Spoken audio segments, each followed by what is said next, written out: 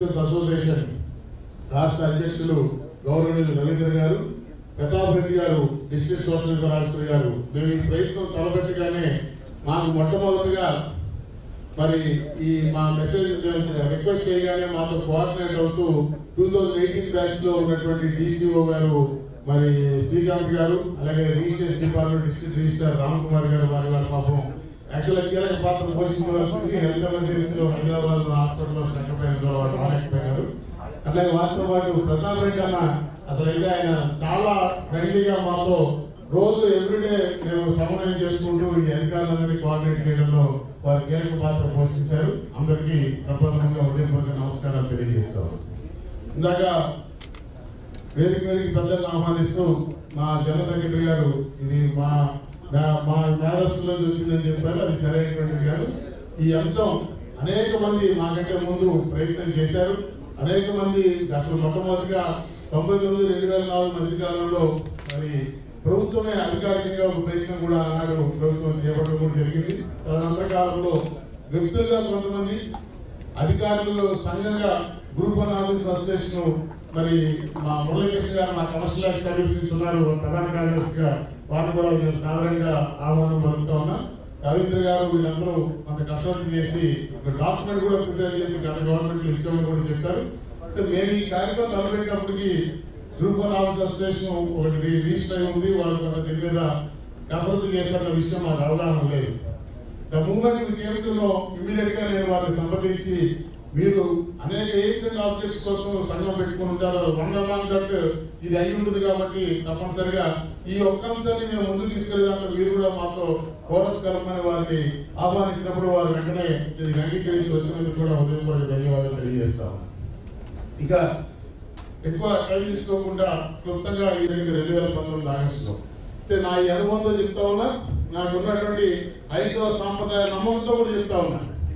ఈ రోజు ఏదో ఆషాఢ మాసం అమావాస్య ఆదివారం పుష్యమి నక్షత్రం కలిసి వచ్చి వంద సంవత్సరాల ఒక రోజు వచ్చే రోజుగా అనేక రకాలుగా వాట్సాప్లో సోషల్ మీడియాలో చూస్తూ ఉన్నాం. ఆ ఆ నమ్మకాలు ఉన్నా ఉండకపోయినా అది సంగతి తెలియదు కానీ బట్ నేను ఖచ్చితంగా చెప్తున్నా యాభై ఏళ్ళ ఆంధ్రప్రదేశ్ చరిత్రలో ఈ రాష్ట్ర పాలనా వ్యవస్థని మలుపు తిప్పే రోజుగా ఈ రోజు చరిత్రలో నిలిచిపోతున్న విషయంలో నాకు ఎటువంటి సందేహం లేదనేటువంటి విషయాన్ని తెలియజేస్తాను ఎందుకంటే ఈ మొదటి మేధోమన్న సదస్సు తప్పనిసరిగా మిగతా మూడు సదస్సులకి ఒక ఇన్స్పిరేషన్ ఇచ్చి అల్టిమేట్గా ఈ రాష్ట్రంలో ఏపీ అడ్మినిస్ట్రేటివ్ సర్వీస్ అనే సర్వీస్ ఏర్పాటుకి మొద నాంది పలికేటువంటి సందర్భం ఈ రోజు కాబట్టి తప్పనిసరిగా ఈ రోజు మనం రాబోయే రోజుల్లో ఇవాళ ఎవరికైనా డౌట్స్ ఉన్నా ఎవరికైనా అప్రహెన్షన్స్ ఉన్నా అవన్నీ ఇవాళ క్లియర్ అయ్యి తప్పకుండా రాబోయే రోజుల్లో this day will be remembered by all civil servants in the Andhra Pradesh as ఒక గుర్తింపు పొందిన రోజుగా నుండి ఒక గుర్తు చరిత్రలో నిలిచిపోతుందని నేను అభిప్రాయపడతా ఉన్నా.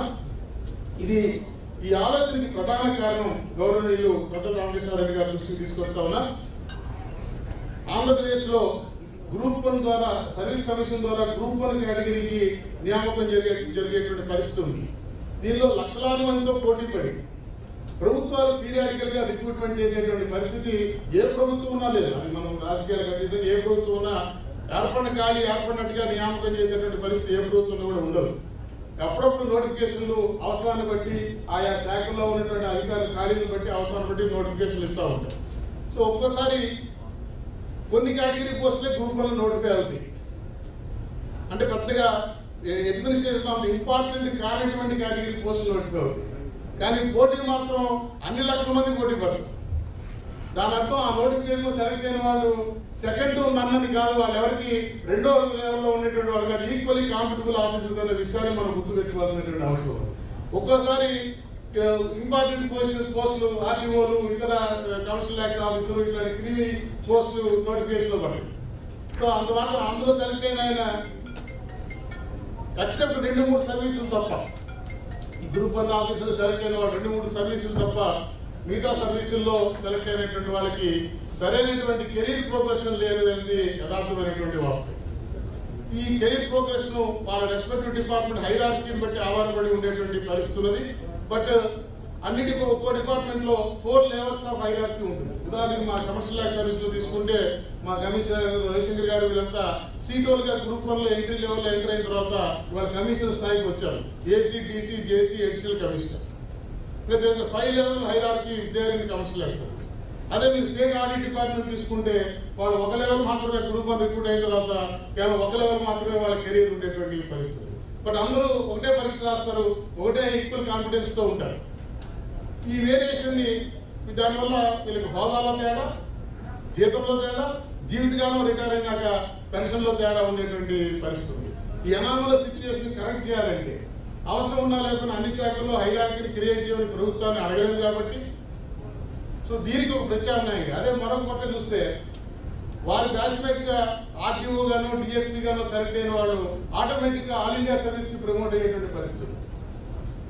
వాళ్ళ కింద వాళ్ళకేమో ప్రమోషన్కి ఎయిటీ ఫైవ్ పర్సెంట్ కోటా ఉంటే మిగతా అందరికీ కలిపి సెలక్షన్కి పదిహేను పర్సెంట్ కోటా ఉంది. ఇవాళ ఒక విషయం స్పష్టంగా చెప్తా ఉన్నా. ఐఏఎస్ అధికారులకు లేకపోతే ఆర్టీఓలకు వాళ్ళకు ఉన్నటువంటి వాళ్ళు అనుభవిస్తున్నటువంటి దాన్ని ఏమాత్రం భంగం కలిగించాలనే ఉద్దేశం ఈ వేదికకి కానీ ఈ డిమాండ్ చేస్తున్న ఎవరికి కూడా లేదనేటువంటి విషయాన్ని కూడా ఈ సందర్భంగా మేము క్లారిఫై చేస్తాం అవర్ మా ప్లీ ఆ పదిహేను శాతం ఈక్వల్ కాంపిటీషన్ కాంపిటెన్సీ కలిగినటువంటి ఆ పదిహేను శాతం మందికి కూడా సరైనటువంటి గౌరవప్రదమైన సమాన అవకాశము ఒక రెస్పెక్టబుల్ హోదా రెస్పెక్టబుల్ పొజిషన్ కల్పించాలనేది మాత్రమే ఈ యొక్క ఆర్గనైజేషన్ యొక్క ఎయిమ్ అండ్ ఆబ్జెక్ట్ అనేటువంటి విషయాన్ని కూడా ఈ సందర్భంగా నేను అందరి దృష్టికి తీసుకొస్తూ ఇది చాలా రాష్ట్రాలు. కొన్ని రాష్ట్రాల్లో ఇప్పటికే విజయవంతంగా కూడా దీన్ని అమలు చేస్తూ ఉన్నటువంటి పరిస్థితి ఉన్నది రాజస్థాన్ హిమాచల్ ప్రదేశ్ మరి very recently January first two thousand eighteen నుంచి కేరళ రాష్ట్ర ప్రభుత్వంలో ఈ రకమైనటువంటి సర్వీస్ని తీసుకురావడం కూడా జరిగింది. అండ్ ఇంకోటి సందర్భంగా మరి గౌరవ సలహాదారు గారి దృష్టికి కూడా తీసుకొస్తా ఉన్నా. అండ్ కేరళ సొసైటీ కేరళ ప్రజలకి ఏనాడు కూడా సక్సెసివ్గా ఒకే గవర్నమెంట్ రిపీట్ చేసినటువంటి ఎలక్ట్రల్ టెండెన్సీ కేరళ రాష్ట్రంలో లేదు. కానీ మొన్న మొదటిసారిగా తన సాంప్రదాయానికి భిన్నంగా గవర్నమెంట్ రిపీట్ అయింది అంటే దాంట్లో వన్ ఆఫ్ ది రీజన్ ఈ ఈ కేరళ అడ్మినిస్ట్రేటివ్ సర్వీస్ని చేయడం ద్వారా జనవరి రెండు వేల పద్దెనిమిదిన గ్రాస్ రూట్ లెవెల్లో ప్రజల దగ్గరికి ప్రభుత్వం అధికారుల రూపంలో రీచ్ కాగలడం కూడా వన్ ఆఫ్ ది రీజన్గా పొలిటికల్ అనలైజ్ చేసినటువంటి విషయాన్ని కూడా ఈ సందర్భంగా నేను మీ దృష్టికి తీసుకొస్తాను. ఇది పాలనా సౌలభ్యం. పరిపాలనలో ఇవాళ మనం ఒకప్పుడు సాంప్రదాయబద్ధమైనటువంటి పరిపాలనా విధానాలు ఉండేవి. ఒక ఆ సాంప్రదాయబద్ధమైనటువంటి పరిపాలన విధానాల్లో ప్రభుత్వ శాఖల ద్వారా మాత్రమే పరిపాలన సాగేటువంటి పరిస్థితి ఉండేది ఇవాళ ప్రభుత్వ శాఖలకి సమాంతరంగా in parallel government departments various institutions ఇవాళ మన మోడర్న్ ట్రెండ్లో మోడర్న్ గవర్నెన్స్లో వచ్చినటువంటి పరిస్థితులు ఉన్నాయి స్పెషల్ పర్పస్ వెహికల్స్ అని ప్రాజెక్ట్ బేస్డ్ అని కార్పొరేషన్స్ అని ఫోకస్డ్గా స్కీమ్ ఫోకస్డ్ వెల్ఫేర్ స్కీమ్స్ ఫోకస్డ్గా మరి ఇన్స్టిట్యూషన్స్ వచ్చినటువంటి పరిస్థితులు ఉన్నాయి. ఇలాంటి ఇన్స్టిట్యూషన్స్ అన్ని మ్యాన్ చేయడానికి ఒక ఎక్స్పర్టైజ్ ఉన్నటువంటి స్థానికులైనటువంటి అధికారులు. మరి స్థానిక అవసరాలు స్థానిక భాష స్థానిక ప్రజల యొక్క కల్చర్ అండ్ సాంప్రదాయాలు అవగాహన ఉన్నటువంటి అధికారుల యొక్క అవసరం ప్రభుత్వానికి పాలనలో తోడైతే ఆ ప్రభుత్వం మరింత మెరుగైనటువంటి ఫలితాలు ఇచ్చే దిశగా ముందుకు వెళ్తుందని మేము బలంగా విశ్వసిస్తున్నాం ఆంధ్రప్రదేశ్ ఉద్యోగుల సంఘం అనే విషయాన్ని కూడా ఈ సందర్భంగా మీ దృష్టికి తీసుకొస్తాం ఉదాహరణకి మీరు ఇవాళ మన ప్రభుత్వంలో ప్రజెంట్ గవర్నమెంట్ ట్రెండ్ చూస్తే మన ముఖ్యమంత్రి గారు ఎవరి వేగానికి అందనంత స్పీడ్లో పరిపాలన సాగిస్తూ ఉన్నటువంటి పరిస్థితి.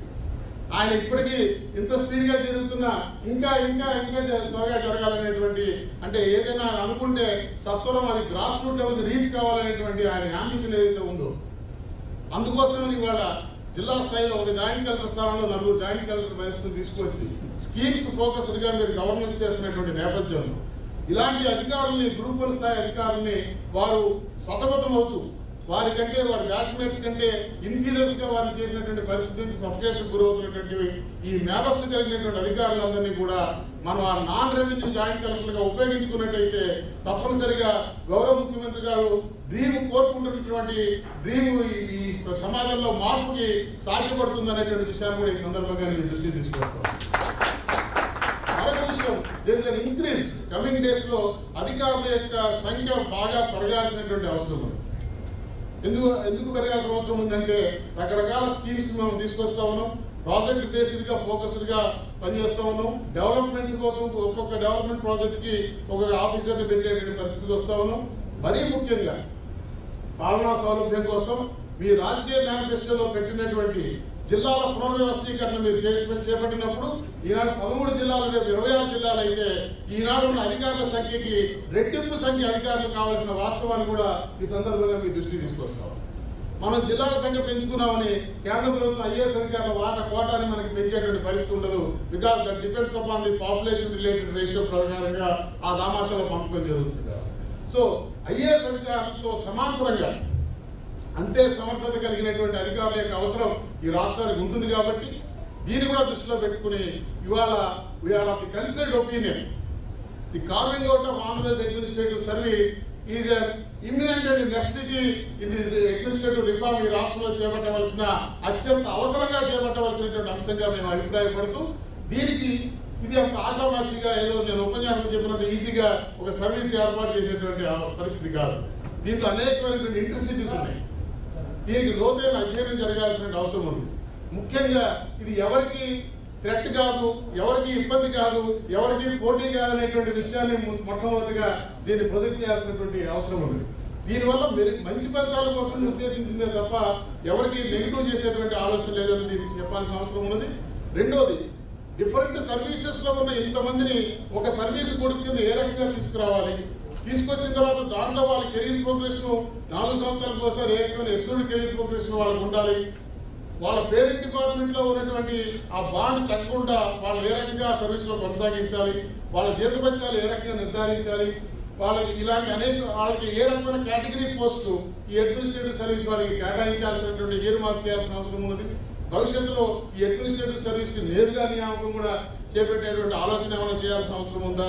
ఇలాంటి అనేకమైన లోతైన విషయాలు అధ్యయనం చేయాల్సినటువంటి అవసరం ఉంది కాబట్టి అలాంటివన్నీ అధ్యయనం చేసి ఎవరికి ఇబ్బంది కలగకుండా ప్రభుత్వానికి మంచి జరిగేలాగా ప్రజలకి మంచి జరిగేలాగా గ్రూప్ వన్ ఆఫీసర్స్ కూడా మేలు జరిగేలాగా అండ్ ఈ మేధస్సుని రాష్ట్ర స- సంపద అయినటువంటి ఈ మేధస్సునందరినీ కూడా సమర్థవంతంగా వినియోగించుకునే దిశగా ఒక డాక్యుమెంట్ని ప్రిపేర్ చేసి ఇలాంటి నాలుగు వేదో వేదోపగల సదస్సులలో చర్చ చేసి దాని నుంచి వచ్చిన ఎసెన్స్ ద్వారా ఒక డాక్యుమెంట్ని ప్రిపేర్ చేసి మీ ద్వారా మేము గౌరవ ముఖ్యమంత్రి గారికి దీన్ని రాబోయేటువంటి నవంబర్ మాసంలో దీన్ని ప్రజెంట్ చేయాలని కోరుకుంటా ఉన్నాం.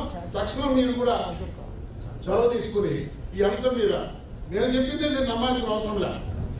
మన పక్కన తెలంగాణ రాష్ట్రంలో ఇప్పటికే ఈ తెలంగాణ అడ్మినిస్ట్రేటివ్ సర్వీస్ని ఏర్పాటు చేయాలనే ఉద్దేశంతో ఒక ఆరుగురు సభ్యులు ఐఏఎస్ అధికారులతో కమిటీని నియామకం చేసినటువంటి విషయాన్ని కూడా ఈ సందర్భంగా మీ దృష్టికి తీసుకొస్తాం తెలంగాణలో ఇప్పటికే దీని యొక్క అవసరాన్ని గుర్తించి కేసీఆర్ గారు తెలంగాణ ముఖ్యమంత్రి గారు అక్కడ ఆఫీసర్స్ అసోసియేషన్ యొక్క అభ్యర్థన మేరకు దీన్ని స్టడీ చేయడానికి ఆరుగురు ఐఏఎస్ అధికారులతో కమిటీని ఏర్పాటు చేసిన విషయాన్ని ప్రస్తావిస్తూ ఆంధ్రప్రదేశ్లో కూడా మీరు ఇవాళ చొరవ తీసుకుని ఒక ఐఏఎస్ అధికారుల కమిటీని తక్షణం నియామం ఏర్పాటు చేసే దీన్ని స్టడీ చేయడానికి ఏర్పాటు చేసే దిశగా గౌరవ ముఖ్యమంత్రి గారిని ఒప్పించవలసిందిగా యావత్ గ్రూప్ వన్ అధికారులు అందరి పక్షాన సో దట్ ఇటు మేము కూడా ఆఫీసర్స్ నుంచి ఇన్పుట్స్ తీసుకుంటాం. ఐఏఎస్ ఆఫీసర్స్ కమిటీ కూడా స్టేక్ హోల్డర్స్ అందరి నుంచి కూడా ఇన్పుట్స్ తీసుకుని ఒక సరైనటువంటి మొత్తం సమాజానికి మేలు జరిగేటువంటి దిశగా ఎందుకంటే ఏ ఇలాంటి చారిత్రక నిర్ణయాలు రాడికల్ రిఫార్మ్స్ చేయగలిగే చేయాలంటే చాలా ధైర్యం సాహసం కలిగినటువంటి వ్యక్తి నాయకత్వం వహించాల్సిన అవసరం ఉంది. ఆంధ్రప్రదేశ్ రాష్ట్ర ప్రజలు చేసుకున్న అదృష్టం ఈనాడు అలాంటి ఒక డైనమిక్ లీడర్షిప్ ముఖ్యమంత్రి గారు నేర్పించుకుంటున్నాం దానికి ఎగ్జాంపుల్ ఏ చోటుగా ఉన్న సాంప్రదాయాలను పక్కన పెట్టి గ్రూప్ వన్ ఆఫీసర్స్ నియామకంలో ఓరల్ ఇంజనీరింగ్ కూడా డిస్పెన్స్ చేసినటువంటి రాడికల్ నిర్ణయం తీసుకున్నటువంటి ముఖ్యమంత్రికి ఒక ఏర్పాటు చేసే నిర్ణయం తీసుకోవడం అనేది చాలా మంచి పరిణామంగా ఉంటుందనే విషయాన్ని కూడా నేను ప్రస్తావిస్తూ ఈ దిశగా మరి మీరు కూడా మీకు మేము రికమెండేషన్ ఇస్తాం. దాన్ని ముఖ్యమంత్రి గారికి కమిటీ ఏర్పాటు చేయించే దిశగా మీరు చూడమని చెప్పి నేను మిమ్మల్ని అభ్యర్థిస్తూ ఇంతటితో నా తొలి పలుకులు ముగిస్తా ఉన్నాను. Thank you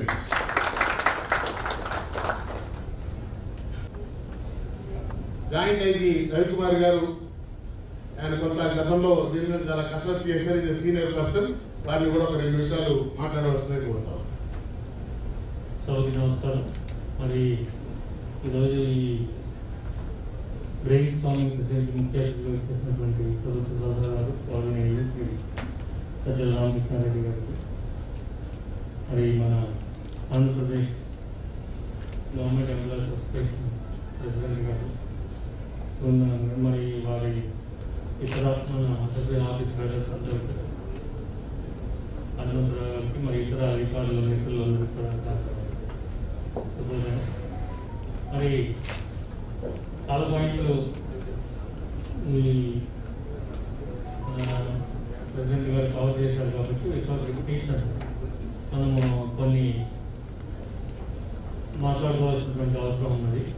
మీరందరూ కూడా ఇందులో different batches maybe ninety three నుంచి రీసెంట్ రెండు వేల పంతొమ్మిది పద్దెనిమిదిలో వచ్చిన వాళ్ళు వరకు కనిపిస్తూ ఉంది so administration has taken a lot of ముఖ్యంగా ఆఫ్టర్ నైంటీ ఫైవ్ లెవెలైజేషన్ తర్వాత వచ్చినటువంటి మార్పులు కానివ్వండి టీవీ అంటే పబ్లిక్ ప్రైవేట్ పార్ట్నర్షిప్ల ద్వారా ప్రభుత్వాన్ని అనుకునేటువంటిది నైంటీ ఫైవ్ నుంచి లేదు సో సుమారుగా నైంటీ ఫైవ్ నుంచి వెళ్ళవలసింది సో గవర్నెన్స్ అనేకమైనటువంటి ముఖ్యంగా ఎలక్ట్రానిక్ గవర్నెన్స్ కానీ స్మార్ట్ గవర్నెన్స్ కానీ. చేంజెస్ అదేవిధంగా మన యూపీఎస్సీ పరీక్షా విధానంలో ఏపీఎస్సీ పరీక్షా విధానంలో కూడా అనేక మార్పులు కూడా వస్తున్నాయి. మనలో చాలా మంది సహజంగా నా చాలా మంది కాదు అందరూ కూడా ninety nine point nine nine percent రెండు పరీక్షలు రాసిస్తున్న వాళ్ళే. యూపీఎస్సీ పరీక్షలు కానీ ఏపీఎస్సీ పరీక్ష కానీ. సో సర్వీస్ మ్యాటర్స్ ఈ సర్వీస్ నిబంధనలు ఇవన్నీ మన వ్యక్తిగతమైనటువంటి విషయాలు చెప్తున్నా కానీ పరిపాలనకు సంబంధించి ఈ కొంత మార్పులు ముఖ్యంగా ఎట్ సమ్ హైయర్ లెవెల్ మార్పులు జరగాల్సినటువంటి అవసరం ఉందని మనం గతంలో ఒకసారి జరిగిన వాటిలో కూడా మనం మాట్లాడుకోవడం జరిగింది. ఎందుకంటే జిల్లాల్లో పనిచేసి జిల్లాల్లో వివిధ డిపార్ట్మెంట్స్ హెడ్స్గా పనిచేసి మళ్ళీ స్టేట్ లెవెల్కి వచ్చి అక్కడ ఒక ఎడిషనల్ డైరెక్టర్ ఎడిషనల్ కమిషనర్ ఆ స్థాయిలో రిటైర్ అయిపోవడం చాలా మంది గ్రూప్ ద్వారా వచ్చే వాళ్ళకి జరిగినటువంటి ఎక్సెప్ట్ రెవెన్యూ డిపార్ట్మెంట్ సో చాలా వరకు గ్రాస్ రూట్ లెవెల్ అవగాహన ఉంది. అంటే project director DRDA project director drama rural development social welfare మన ST corporation BC corporation ITDA మరి అదేవిధంగా వికలాంగుల సహకార సంస్థలు కానీ అనేక జిల్లా స్థాయి కార్యక్రమాలు. ముఖ్యంగా జిల్లా ప్రభుత్వం అంటే ప్రభుత్వంలో అతి ముఖ్యమైన ఒక ప్రభుత్వం నడుస్తుందంటే మూడే మూడు ఇన్సిడెంట్స్ వెరీ వెరీ ఇంపార్టెంట్. ఒకటి ఎలక్షన్స్ నిర్వహించడం సమర్థంగా నిర్వహించడం. రెండు డిజాస్టర్స్ అంటే న్యాచురల్ డిజాస్టర్స్ని హ్యాండిల్ చేయడం. మూడు. బీవీఏపీ అనేది స్పెసిఫిక్ ఫంక్షన్స్ని ఆర్గనైజ్ చేయడం ఈ మూడు జిల్లా స్థాయిలో మనం ఎదుర్కొనేటువంటి ఛాలెంజెస్ ఇవి ఎక్కువ గ్రూప్ వన్ ఆఫీసర్లు చేస్తారు.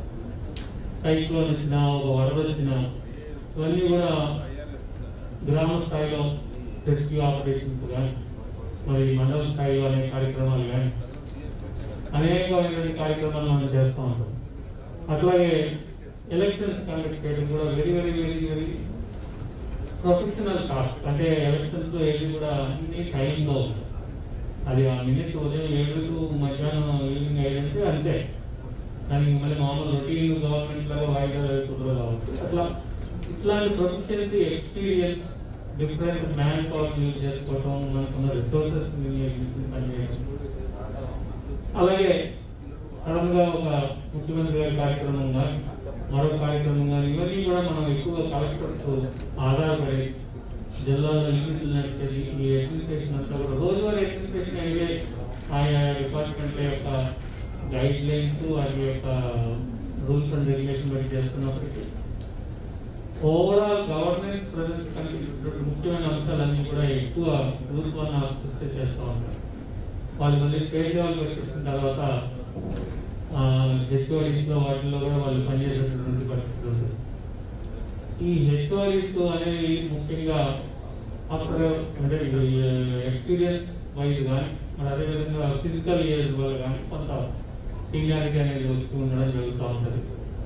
దీనివల్ల తర్వాత ఏంటంటే మనకి డిస్పారిటీ ఇన్ దీనివల్ల ఇది రెవెన్యూ వర్సెస్ నాన్ ఎస్సీఎస్ అనే దాని వల్ల కానీ మనకన్నా ఒక జూనియర్ ఆఫీసర్ వచ్చి దాన్ని హెల్ప్ చేయడము చెప్పడం వీళ్ళ యొక్క సలహాలు కానీ వీళ్ళని కూడా అందులో వినియోగించబడక చాలా వరకు మేధస్ కానీ ఎక్స్పీరియన్స్ కానీ టాలెంట్ కానీ అన్యూటిలైజ్డ్ పొటెన్షియల్గా ఉండిపోతాం most of the departments most of the career officers who are cross fifty fifty five all level of the level of the uh, develop director and ఇది ఒకటి జరుగుతూ ఉంటే గత ఇరవై ఏళ్ళుగా ఒక పరిణామం ఏంటంటే వేరే రాష్ట్రాల నుంచి వేరే సర్వీస్ వాళ్ళు రాష్ట్రానికి రావడం రైల్వే సర్వీస్ని అకౌంట్ సర్వీస్ని పోస్టల్ సర్వీస్ రకరకాల సర్వీసెస్ అంటే వాళ్ళు తెలుగు వాళ్ళు అయ్యుండొచ్చు కానీ ఇట్లా ఫీల్డ్లో జిల్లా స్థాయి గ్రామ స్థాయిలో వర్క్ చేసి ఇక్కడ జాగ్రత్తని కానీ ఇక్కడ సోషియో ఎకనామిక్ పొలిటికల్ కండిషన్స్ ఇవన్ పాలిటిక్స్ ఇది వెరీ ఇంపార్టెంట్ లైన్ క్యాప్చర్ ఇది కూడా అవగాహన కోసం తెలుగు వాళ్ళకి మనం కూడా సపోజ్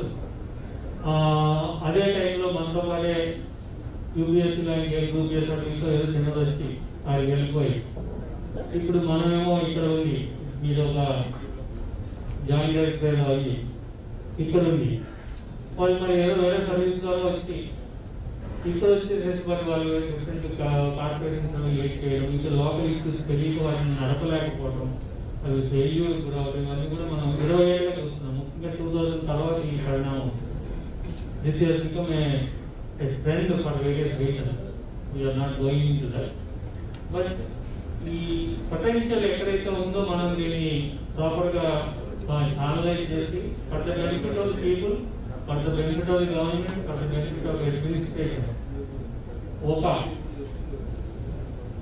సర్వీస్ ఒకటి క్రియేట్ చేసి చేయకపోయినట్లయితే ఇది ఎందుకంటే అది know very well every human being ఉండేటటువంటి బేసిక్ లక్షణం ఏంటంటే ఐడెంటిటీ గుర్తింపు అనేవాడు ప్రతి వాడు కోరుకుంటాడు వాళ్ళు ఆఫీసర్ కావచ్చు రాజు కావచ్చు పేదవాడు కావచ్చు ఏ విధమైనటువంటి ఒక స్థాయికి వెళ్ళిన తర్వాత మీకు ఒక మోటివేషన్ లేక ఒక నీ సర్వీస్కి ఒక గుర్తింపు లేక ఇప్పుడు రెండు వేల పదకొండులో డిప్యూటీ కలెక్టర్ అయిన వాళ్ళు ఇప్పుడు హెచ్ఓడీస్తో కూడా వస్తారు రెండు వేల తొమ్మిది రెండు వేల ఏడు రెండు వేల పదకొండు సో ఇటు వాళ్ళకి ఎక్స్పోజర్ లేకపోవడం వల్ల కానీ మరొకటి కానీ మరొకటి కానీ వేరే let's not very this is actually affecting the administration a lot. Ultimately, the service delivery is being getting affected.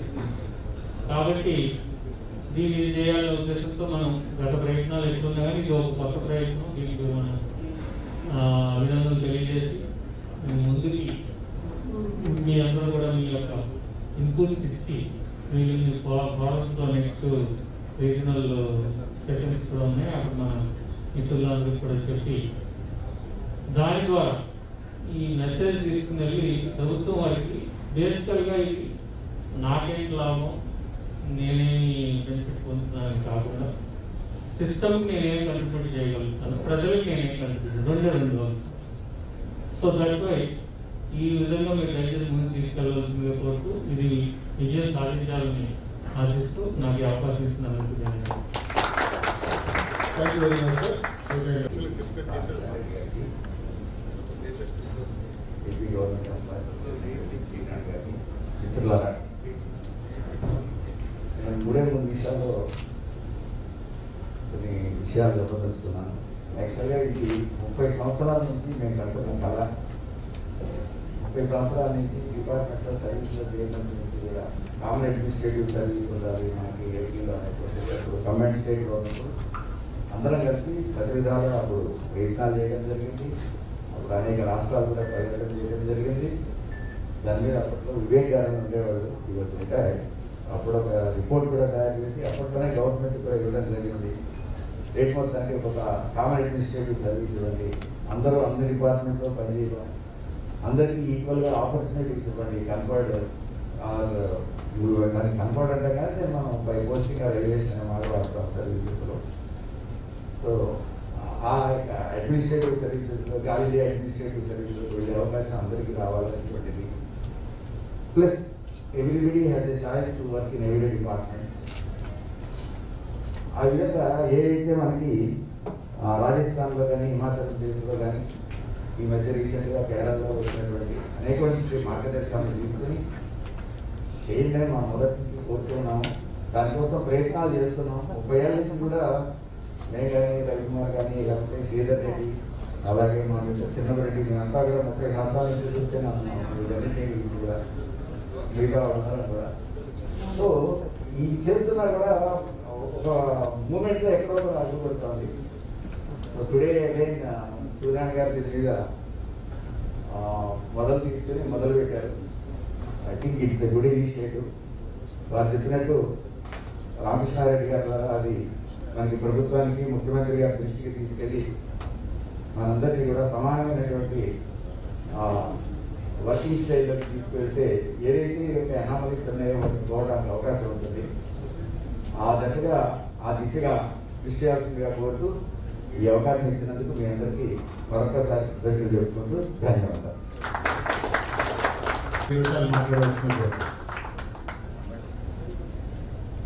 మన ముఖ్య అతిథి శ్రీ మన సలహాదారు గౌరవ ప్రభుత్వ సలహాదారు సత్యం రామకృష్ణారెడ్డి గారు అధ్యక్షత వహించిన సూర్యనారాయణ గారు ఇతర అధికారులు అందరికీ నమస్కారం.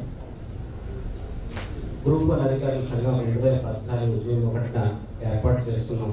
వాస్తవానికి పంతొమ్మిది డిపార్ట్మెంట్ల దాదాపుగా మనకి ఇప్పుడు రిక్రూట్మెంట్ జరుగుతుంది గ్రూప్ వన్లో వివిధ శాఖల నుంచి. వీరందరికీ కూడా ఎవరి అసోసియేషన్ వారికి ఉన్నాయి ఎవరి సమస్యలు వారికి ఉన్నాయి వారి మీద ప్రత్యేకంగా వారికి వారు వారు ఏదైనా కూడా ప్రయత్నాలు చేసుకుంటూ ఉంటారు. కానీ అందరూ కలిసి ఒక అసోసియేషన్ ఏర్పాటు చేసుకోవడానికి ప్రధాన కారణం జెండా అజెండా ఒకటే ఏపీ అడ్మినిస్ట్రేటివ్ సర్వీసెస్ సాధించడం అయితే మనం కాంపిటేటివ్ ఎగ్జామ్స్ మొదలుపెట్టినప్పుడు అందరికలా అలా ఐఏఎస్ సాధించడం ఎందుకంటే అది అత్యున్నత సర్వీస్ కాబట్టి. అయితే మనం ఎగ్జామ్ తర్వాత రకరకాల సర్వీసులు ఉన్నప్పటికీ కూడా కనీసం ప్రమోషన్ ద్వారా ఆ స్థాయి చేరాలని కోరుకుంటున్నాం. మరి ప్రభుత్వం ఆ- భారత ప్రభుత్వం దీనికి ఏ విధంగా ప్రొవిజన్స్ ఇచ్చింది అంటే పంతొమ్మిది వందల యాభై నాలుగులో ఈ ప్రమోషన్ ఐఏఎస్ ప్రమోషన్ కోసం నియమాలను రూపొందించి వాటిలో యాభై యాభై ఎనభై ఐదు పర్సెంట్ స్టేట్ సివిల్ సర్వీసులకి పదిహేను శాతం నాన్ స్టేట్ సివిల్ సర్వీసెస్లకి అంటూ కేటాయించడం జరిగింది.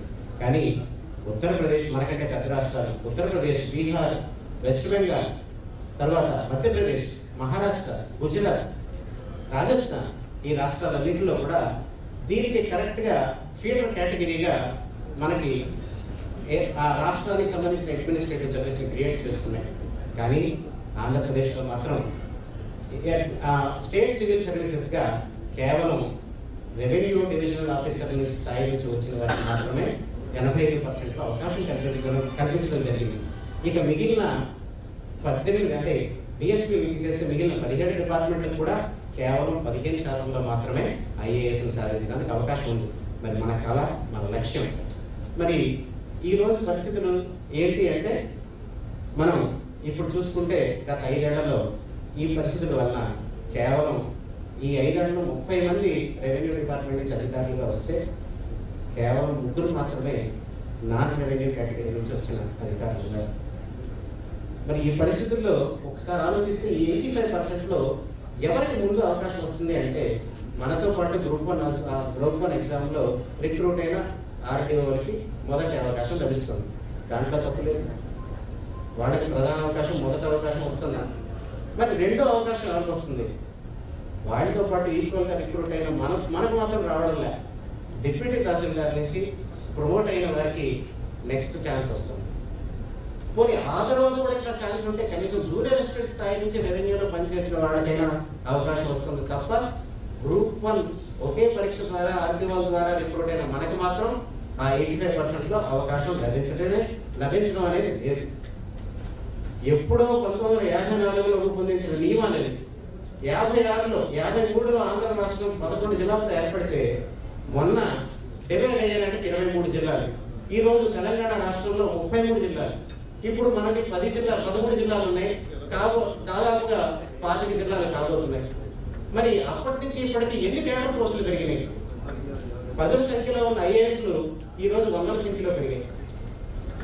మరి ఈ ఆపర్చునిటీ అన్ని ఎయిటీ ఫైవ్ పర్సెంట్ ఎవరికి చెందుతుంది. కేవలం రెవెన్యూ డివిజనల్ ఆఫీసర్ క్యాడర్కి వచ్చిన వ్యక్తులకు మాత్రమే ఈ ఎయిటీ ఫైవ్ పర్సెంట్ జరుగుతుంది దక్కుతుంది. ఇది ఎంతవరకు సమంజసం? ఇటువంటి ఎనామలీస్ని మార్చి గ్రూప్ వన్ అధికారులుగా అత్యంత సమర్థవంతంగా మనం జిల్లాలో దాదాపు ముప్పై సంవత్సరాల పాటు మన సర్వీస్ని మనం చేస్తూ ఉన్నాం. ప్రభుత్వ విధానాల్ని ప్రభుత్వ లక్ష్యాల్ని ప్రభుత్వ సిద్ధాంతాల్ని మనం ప్రజల దగ్గరికి చేరవేస్తున్నాం. మనం జిల్లా యంత్రాంగంలో ఇద్దరు ముగ్గురు ఐఏఎస్ అధికారులు ఉంటే ప్రతి డిపార్ట్మెంట్ని దాదాపుగా నడిపించేది గ్రూప్ వన్ అధికారులుగా మనమే. ఈరోజు వాస్తవానికి రెవెన్యూ అధికారుల పాత్ర కీలకమైందైనా ఒక పక్కన ప్రభుత్వానికి ఆదాయాన్ని సమకూర్చే డిపార్ట్మెంట్ వాణిజ్య పన్నుల శాఖ అలాగే రిజిస్ట్రేషన్ల శాఖ ఎక్సైజ్ శాఖ అలాగే ఇలాంటి మన రవాణా శాఖ ఇవన్నీ కూడా గ్రూప్ వన్ అధికారుల పర్యవేక్షణలో పనిచేస్తున్నాయి. ప్రభుత్వం నడిచేందుకు సమర్థవంతంగా మనకి ఆదాయాన్ని సమకూరుస్తున్నాయి. మరో పక్షన మరోవైపు ప్రజలకి సంక్షేమ పథకాలని అందజేయాలంటే ట్రైబల్ వెల్ఫేర్ కానివ్వండి సోషల్ వెల్ఫేర్ కానివ్వండి బీసీ వెల్ఫేర్ కానివ్వండి ఇవన్నీ కూడా డిపార్ట్మెంట్లన్నీ కూడా గ్రూప్ వన్ అధికారుల సారథ్యంలో పనిచేస్తున్నాయి. అదేవిధంగా మన రాష్ట్రాన్ని రూరల్ అర్బన్ అనే కోణంలో చూస్తే అర్బన్ అడ్మినిస్ట్రేషన్లో మున్సిపల్ కమిషనర్లు ప్రభుత్వ పథకాలన్నీ సమర్థంగా ప్రజలకి అందించే ప్రవర్తన చేస్తున్నారు. అలాగే రూరల్లో ఎంపీడీఓలు సమర్థవంతమైన పాత్ర నిర్వహిస్తున్నారు. వీళ్ళెవరికీ కూడా ఏ స్టేట్ సివిల్ సర్వీసెస్లో భాగంగా ఎనభై ఐదు పర్సెంట్లో షేర్ అందుకునే అవకాశం లేదు. మరి యాభై నాలుగు యాభై ఆరు నియమాల్ని ఈ రోజుకి ఈ రోజు కూడా అదే అనువర్తింపజేస్తే ఎలా? మార్చాలి. మార్చాలంటే దీనికి ఒక ఈ గ్రూప్ వన్ ఆఫీసర్లందరితో ఒక కామన్ పూల్ సీనియారిటీ అనేది తయారు చేసి దాన్ని ఏపీ అడ్మినిస్ట్రేటివ్ సర్వీస్గా క్రియేట్ చేసి ఆ ద్వారా ఈ ఐఏఎస్ ఐఏఎస్ పదోన్నతులు కనుక కల్పించినట్లయితే అందరికీ సమాన అవకాశాలు వస్తాయి. కాబట్టి ఏపీఐఎస్ అనేది చాలా అవసరం. మరొక పక్షాన మరొక వైపు చూస్తే మనకి జిల్లాలో మొదట ఒక జాయింట్ కలెక్టర్ ఉండేవారు రెవెన్యూ నుంచి. తర్వాత తర్వాత welfare additional joint secretary joint collector అనే పోస్ట్ని క్రియేట్ చేశారు. అది మొదట్లో రెవెన్యూ ఇతర అధికారులకి కేటాయిస్తామని చెప్పారు. కానీ కాలక్రమేణా అది కూడా రెవెన్యూ అధికారులతోనే నిండిపోయింది. ఈ రోజు నలుగురు చేసి వస్తున్నారు మనకి.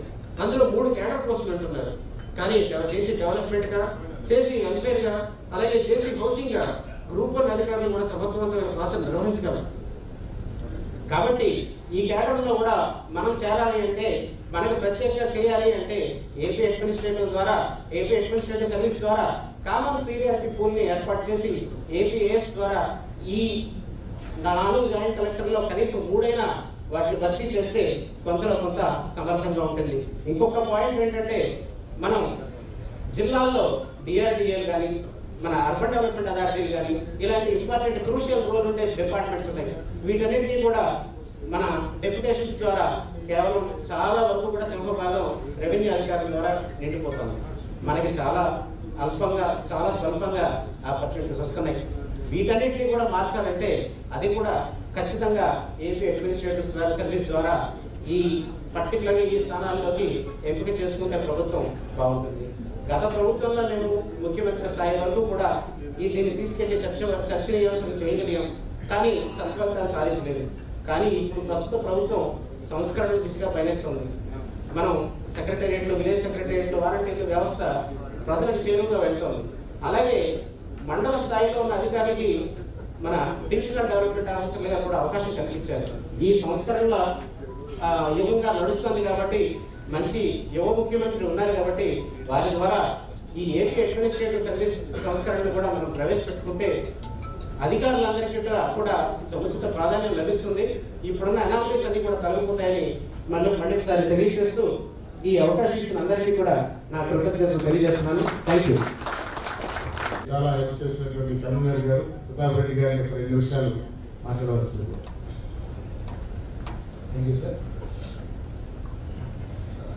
సభకు నమస్కారం ఈనాటి సమావేశానికి విచ్చేసినటువంటి పెద్దలు శ్రీ సత్యనారాయణ రెడ్డి గారు అదేవిధంగా APGA president Shri KR Satyanarayana గారు ఇతర పెద్దలకు అదేవిధంగా మా సీనియర్స్ మా కొలీగ్స్ అందరికీ నమస్కారం. నా పేరు Pratap Suryanarayana Reddy. Working as district social welfare officer West Godavari so ఒక గ్రూప్ వన్ సర్వీస్ అనేది రాష్ట్రంలో ప్రతి ఒక్క పౌరుడికి లేకపోతే డిగ్రీ కంప్లీట్ చేసిన వ్యక్తికి ఒక కళ. సో నేను రెండు వేల పదకొండు నుంచి రెండు వేల పద్దెనిమిది వరకు సెంట్రల్ గవర్నమెంట్ ఎంప్లాయ్ వర్క్ చేసేవాడిని. సో ఐఏఎస్ తర్వాత స్టేట్లో ఒక మంచి సర్వీస్ లేదా రెస్పెక్ట్ ఉంటుంది గ్రూప్ వన్ సర్వీస్ని గ్రూప్ ప్రిపేర్ అయ్యి గ్రూప్ సర్వీస్లో జాయిన్ అయ్యాను అయితే ఎస్కున్నా జాయిన్ అయ్యి అంటే ఏడుగా జాయిన్ అయిన తర్వాత కొద్ది కొద్దిగా ముగ్గులు అనేవి తెలియదు గ్రూప్ వన్లో వచ్చే అంత రెస్పెక్ట్ కానీ లేకపోతే ఆ హోదా వాల్యూ అనేది కేవలం ఒకటి లేదా రెండు సర్వీసెస్ మాత్రమే ఉంటుంది మిగతా సర్వీసెస్ అందరికీ లేదు. చాలా వరకు డిస్క్రిమినేషన్ ఉంది డిస్పారిటీ ఉంది. అదేవిధంగా డిస్టిక్ లెవెల్లో ఈ గ్రూప్ వన్గా సెలెక్ట్ అయిన అభ్యర్థులకు హ్యూమిలేషన్ కూడా జరుగుతుంది. సో ఇటువంటి సమయంలో ఐ మైసెల్ఫ్ డిమోటివేటెడ్ అండి డిమోటివేట్ అయిపోతున్నాను సో ఫ్రస్ట్రేషన్ కూడా ఉన్నాయి ఒకనొక టైంలో మేబీ జాబ్ నుండి క్విట్ అవుతామని కూడా అనుకుంటున్నాను ఆ టైంలో మన సూర్యనారాయణ గారికి ఫోన్ చేశారు. అంటే just three weeks back so ఇటువంటి ఏపీఎస్ ఫార్మేషన్ ఒకటి జరిగితే అందరికీ గ్రూప్ సర్వీస్లో ఉండే ప్రతి ఒక్క అభ్యర్థికి ఒక మంచి ఆపర్చునిటీ వస్తుంది సో మరి ఏం చేద్దాం ఎలా చేద్దాం అనుకునేది అక్కడికి ఏం ఐడియా లేదు. సో మా మా పార్టీగా టూ థౌజండ్ ఎయిటీన్ బ్యాచ్ నుంచి ఆల్మోస్ట్ టూ హండ్రెడ్ మెంబర్స్ ఉన్నారు. వాళ్ళ వరకు కోఆర్డినేషన్ చేస్తాను చెప్పి సార్ అష్యూరెన్స్ ఇచ్చారు సో నేను కోఆపరేటివ్ డిపార్ట్మెంట్ నుంచి శ్రీకాంత్ గారు ఆల్మోస్ట్ మా బ్యాచ్ వాళ్ళంతా కాంటాక్ట్ అయ్యాం. వాళ్ళతో ఈ విషయం కూడా షేర్ చేస్తున్నాం సో మెయిన్గా ఇష్యూ రైజ్ చేసిన తర్వాత ఏ విధంగా చేయాలి ఎలా చేయాలి అనేది అక్కడికి ఇంకా డిసైడ్ కాలేదు. So four brainstorming sessions at different different లెవెల్లో పెట్టుకొని అన్ని ఇన్పుట్స్ తీసుకొని ఒక ఎల్పిజి ఒక ప్లాట్ఫామ్ ప్రొవైడ్ చేసేటప్పుడు మనం ఒక బ్యాక్ నుంచి ఒక సపోర్ట్ ఇవ్వడం ద్వారా వాళ్ళు ఎంకరేజ్ అని చెప్పేసి మా బ్యాచ్ వరకు కోఆర్డినేట్ చేసాం. సో ఈ ప్రోగ్రామ్కి మెయిన్గా సజ్జన లక్ష్మి గారి గారిని అజయ్ కళ్యాణ్ గారిని ఇన్వైట్ చేయడం ద్వారా మన ఇష్యూను హైలైట్ చేద్దామని కేఆర్ సూర్యనారాయణ గారు భావించారు వారికి మనస్పూర్వకంగా మా ధన్యవాదాలు తెలుపుకుంటున్నాం. అదేవిధంగా ఈ యొక్క గ్రూప్ సర్వీస్ మొత్తం maybe two thousand seven eleven two thousand twelve and two thousand sixteen ఉన్నాయి sir. Two thousand eleven and sixteen రెండు ఒకటే కలిసి సో వీళ్ళందరి తరఫున ఈ యొక్క ఇష్యూను ముందు తీసుకెళ్తారని ఆశిస్తూ ఈ అవకాశం ఇచ్చిన వారికి ధన్యవాదాలు. మంది వేలో ఉన్నారు? ఇందాక నేను చెప్పినట్టుగా మార్నింగ్ సిక్స్ ఫార్టీ ఫ్లైట్కి హైదరాబాద్ నుంచి బయలుదేరి మన సమావేశం కోసమే రావాల్సింది. తీరా ఎయిర్పోర్ట్కి వచ్చిన తర్వాత హైదరాబాద్లో ఆ ఫ్లైట్ క్యాన్సిల్ అయ్యి అది రీషెడ్యూల్ కలిపి forty five is on the way ఆయన డెఫినెట్గా వచ్చి మనతో జాయిన్ అయ్యి ఇక్కడే మనతోనే లంచ్ చేసి ఈ spend two three hours with us and మనకు ప్రాపర్ గైడెన్స్ కూడా వాళ్ళు ఇస్తారు. అయితే నవ్వు ఐ రిక్వెస్ట్ మన చీఫ్ గెస్ట్ శ్రీ రజరామకృష్ణారెడ్డి గారిని మాట్లాడవలసిందిగా కోరుతాం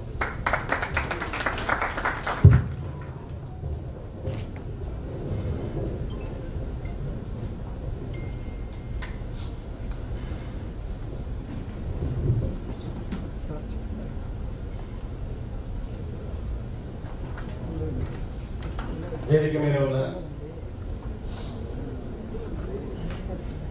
ఏపీ ఆంధ్రప్రదేశ్ ఎంప్లాయీస్ అసోసియేషన్ అధ్యక్షుడు సూర్యనారాయణ గారు అలాగే సీనియర్ అధికారులు అలాగే గ్రూప్ వన్ ఆఫీసర్స్ అసోసియేషన్ బాధ్యులు ఇక్కడికి వచ్చిన ఎక్కువ మంది యువకులు కనిపిస్తున్నారు యువ అధికారులందరికీ కార్తీక శుభాకాంక్షలు అభినందనలు కూడా తెలియజేస్తున్నాను మేము నా వరకు నేను జర్నలిస్ట్గా చాలా కాలం ఉన్నందువల్ల ప్రభుత్వం ప్రభుత్వ యంత్రాంగం దాని పనితీరు వీటిని ఇంకో కోణంలో నుంచి చూశాను అయితే అనుకోకుండా రాజకీయ రంగంలో అడుగు పెట్టే అవకాశం ఉన్నాను ఈరోజు మన ముఖ్యమంత్రి జగన్మోహన్ రెడ్డి గారితో అసోసియేట్ అయ్యి ప్రభుత్వంలో కొంతవరకు సన్నిహితంగా చూస్తూ ఇక్కడ సమస్యలను అలాగే వాటికి పరిష్కారాలు కొన్ని కనిపిస్తుంటాయి కొన్ని సంక్లిష్టంగా ఉంటాయి. వాటిని గమనిస్తున్నాం. ఏదైతే ప్రజాస్వామ్యంలో ఎగ్జిక్యూటివ్ అంటే రాజకీయ పరంగా ప్రజలు ఎన్నుకొని ఏర్పాటైన ప్రభుత్వం. అది ప్రజలకు ఇచ్చిన హామీలు లేదా ప్రజాస్వామ్యంలో ప్రజలు వాళ్ళ పాలన వాళ్ళు చేసుకుంటారన్నారనే అభిప్రాయం లేదా అలాంటి ధీమా భరోసా కలిగించే రీతిగా ఆ ప్రభుత్వంలోకి వచ్చిన పార్టీ కానీ ఆ ప్రభుత్వం ఆ పార్టీ నుంచి వచ్చిన ప్రభుత్వం కానీ వాళ్ళు ఆశిస్తారు. దాన్ని పూర్తిగా అమలు చేయాలంటే ఇది వరకు తీసుకెళ్ళాలంటే అధికార వ్యవస్థ అనేది ఎంత పకడ్బందీగా ఎంత ఆరోగ్యకరంగా ఎంత ఒక పోటీ తత్వంతో ఒక మోటివేషనల్ దీంతో పనిచేస్తే అంతగా అది సాధ్యమవుతుంది. అలా కాకుండా అది అసంతృప్తితో ఉంటేనో అధికార యంత్రాంగం లేదా మనస్ఫూర్తిగా పనిచేయలేకపోతేనో దాని ఇంపాక్ట్ ఖచ్చితంగా దాని ప్రభావం పాలన మీద పడుతుంది ఆశించిన ఫలితాలు సరే ఏదో వచ్చాము అధికారం అధికారంలోకి ఐదేళ్ళు ఉన్నాం లేదా ఇప్పుడు కాలం మారి రీజనల్గా ఎక్కడికెక్కడ ప్రాంతీయంగా రోజు నాలుగు పార్టీలు వస్తున్నప్పుడు అలాగే జనం కూడా అభిప్రాయాలు ఇంతకుముందు మోసలాగా ఉండేవి ఇప్పుడు భిన్నాభిప్రాయాలు ఎక్కువ అతుకుల మొత్తలాగా ఎంపికలు ఎన్నికలు జరిగి అది పార్లమెంట్ స్థాయిలో కానీ ఇక్కడ కానీ ఆ ప్రభుత్వం ఎంతకాలం ఉంటుందో తెలియనప్పుడు అసలు వాళ్ళకు పాలన గురించి పట్టదు. లేదా ప్రజల గురించి పడ్డారు. వాళ్ళు ఎవరికి బాధ్యత వహించాల్సిన అవసరం లేదనుకునే పాలకులు వచ్చినప్పుడు. అప్పుడు పూర్తి అధికారుల చేతిలోనే ఉంటాయి. ఒక రకంగా వ్యవస్థ. కాబట్టి ఆ రకంగా చూస్తే బాధ్యత ఎక్కడ లేదు ఈరోజు మన ముఖ్యమంత్రి జగన్మోహన్ రెడ్డి గారు ఇంతకు సూర్యనారాయణ గారు చెప్పినట్టు. ఆయన రావడంతోనే మొత్తం మూస ఆలోచనలన్నీ బ్రేక్ చేస్తూ ఒక కొత్త ఆలోచనలతో ప్రజలకు అంతిమంగా అట్టడుగున ఆకరణలో ఉన్న వ్యక్తికి లేదా కుటుంబానికి కూడా పేదల్లో అండగా ప్రభుత్వం నిలబడగలిగితేనే నిజమైన ప్రభుత్వం అవుతుందని నమ్మి అందుకు అనుగుణంగా ఒక స్పష్టమైన ప్రణాళికలతో ఆయన అధికారంలోకి వచ్చిన రోజు నుంచి తన పని మొదలు పెట్టారు కానీ ఆ పని ఆయన ఒకరు చేయగలిగింది కాదు. లేదా ఇంతకుముందు మీ మాటలో లేదా మీ చర్చనీయాంశమైన ఆల్ ఇండియా కేడర్ ఐఏఎస్ అధికారులు ఒకరు చేయగలిగిన కాదు. ఆ తర్వాత రియల్ ఎగ్జిక్యూషన్లో ఉండేది మీరు ఉంటారు ఏ డిపార్ట్మెంట్లో ఎక్కడ ఉన్నా ప్రభుత్వ ఆదాయం నిలబడాలన్నా వనరులన్నీ సమకూరి చేయాలన్నా లేదా వాటికి తిరిగి సరిగ్గా తిరిగి తీసుకెళ్ళే ఆ వ్యయం కూడా ఒక బాధ్యతతో పెట్టి ఆఖరి పైసల వరకు ప్రజలకు ఉపయోగపడేలా చేయాలన్నా మధ్యలో వారధిలాగా ఉండేది మీరే స్టేట్ సర్వీసెస్ మీ సర్వీసెస్ మీరే ఉంటారని ఎవరైనా అంగీకరించారు తప్పదు సో ఇంతటి బాధ్యతాయుతమైన స్థానాల్లో ఉన్నవాడు అందరూ ఒకే సర్వీస్ నుంచి ఒకే పరీక్ష రాసి ఏపీపీఎస్ గ్రూప్ వన్ నుంచి సెలెక్ట్ అయినప్పుడు దీంట్లో తారతమ్యాలు ఉన్నప్పుడు సహజంగానే దానివల్ల వచ్చే అసంతృప్తి దాని నుంచి దాని నుంచి విముక్తి కావాలి లేదా అలాంటి దాని ఆ పరిస్థితి నుంచి మా పరిస్థితి మారాలి అని కోరుకున్నప్పుడు దాని గురించి ప్రతిస్పందన లేకపోతే సంవత్సరాల తప్పటి దశాబ్దాల తప్పటి వచ్చే గూడు కట్టుకునే ఆ వేదన లేదా వేదిక మీద ఉన్న వాళ్ళు చూస్తే కూడా అర్థమవుతుంది. ముప్పై ఏళ్ళు సర్వీస్ అయింది. కానీ అది ఇప్పుడే అంటున్నారు రవిశంకర్ గారు. ఐఐఎంలో సెలెక్ట్ అయ్యాము అన్నీ ఈక్వల్గా స్టేట్ ఆఫీసర్ ఒకటే అయినా కూడా ఇంతవరకు అయితే దాంట్లోకి వెళ్ళడం అయితే కుదరలేదు. నేను వాళ్ళకి ప్రమోషనల్ వర్టికల్ ఉంది ఐఆర్ఎస్ మిగిలిన ఐపీఎస్ లాగా ఐఏఎస్ లాగా. దానికి కన్సిడరేషన్ లేదు. అందరికీ ఉండకపోవచ్చు. మనకు అవకాశం ఉంది దాన్ని కన్సిడర్ బహుశా పొలిటికల్ సిస్టంలో ఎక్కడో ఒకసారి అది పక్కన పడిపోతే పోతూ ఉంటుంది? ఎప్పుడో ఒకరు వాయిస్ రేజ్ చేయాలి లేదా దాని మీద చర్చ జరుగుతుందని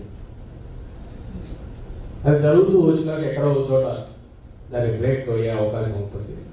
ఫలితం కూడా వచ్చే అవకాశం ఉంటుంది. ఆ దిశగా ఇక్కడ ఈరోజు ఏపీ ఎంప్లాయీస్ అసోసియేషన్ తరపున సూర్యనారాయణ గారు ఏర్పాటు చేయడం అనేది ఆహ్వానించదగ్గ పరిణామం.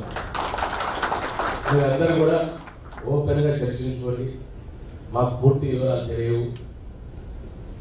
కానీ ఇక్కడ కూడా సహజంగానే మనం ఒక వేదిక మీదకి వచ్చాక ఆ వేదికకు సంబంధించిన ఇంట్రెస్ట్ ఉంటాయి. దేని అదర్ సైడ్ ఒకవైపు చూస్తే ఇంతవరకు మీరు అనుకుంటున్నట్టే కొంతమంది అవకాశాలు వాళ్ళకే వస్తున్న వాళ్ళకు సహజంగా ఇది ఇష్టం ఉండకపోవచ్చు. వాళ్ళ రీజన్స్ వాళ్ళకు ఉండొచ్చు నాకు తెలియదు. ఎటువంటి వాటికి ఇంజెక్ట్ దానికి ఎందుకంటే దాంట్లో ఉన్న సర్వీస్లో వీటికి సంబంధించి ఎలాగైతే ఐఏఎస్ అంటే దానికి ఉన్న ఒక స్పెషల్ ఇది ఉండేటారు అలాగే ఇక్కడ మీ సెలక్షన్ ప్రాసెస్లో మీ వర్కింగ్ దాంట్లో ఓవర్ పీరియడ్ వచ్చే డెసిషన్ మేకింగ్ దీంట్లో వాళ్ళకి ఏమైనా ఇది ఉంటుందేమో నాకు తెలియదు. ఉంటే వాళ్ళకు రిజర్వేషన్స్ వచ్చాయి. బట్ ఓవరాల్గా చూస్తే దెన్ సివిల్ సర్వీసెస్ అంతా